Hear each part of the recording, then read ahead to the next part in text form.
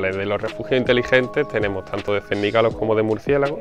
Las ideas básicas que se están trabajando aquí, en primer lugar, es identificación, identificación individual mediante marcado por RFID, que es radiofrecuencia. Eso lo que permite es que al entrar en el refugio o al salir eh, detecte qué individuo concreto es y eso pues tenga una alerta en tiempo real de qué individuo concretamente ha entrado o ha salido del refugio. Los refugios inteligentes están desplegados en, más de una localización.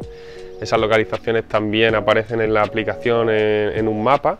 Tú puedes ver en qué caja está habiendo actividad y entonces puedes hacer un tracking de eh, cómo se mueven por las distintas cajas. Y otra de las funciones que tenemos, pues por ejemplo, es eh, cámaras se contrasta esa información porque hay vídeo grabando exactamente la entrada del refugio.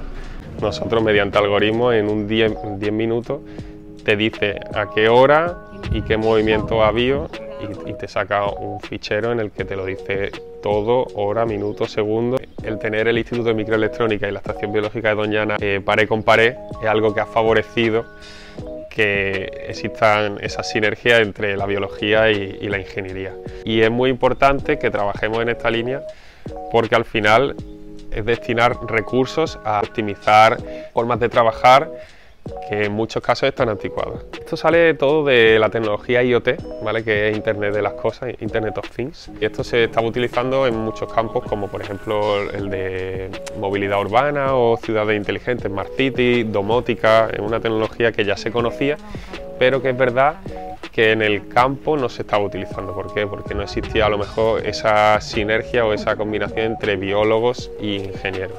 Se está viendo que es algo que funciona, que ahorra mucho tiempo y que aporta sobre todo mucha información contrastable. Ahora mismo aquí en el, en el parque, en la reserva, tenemos puesto para los murciélagos y los de Cernica los están puestos en un silo eh, en la palma del condado. Tiene una labor de mantenimiento que venimos a revisarlas cada cierto tiempo y las reseteamos para que no nos fallen y no perder ninguna información. Al finalizar el proyecto queremos publicar esos paneles y que la ciudadanía pueda acceder a esa mayor parte de, datos que existen en esa aplicación y haya un flujo de información y un intercambio de información para que sirva al que la necesite.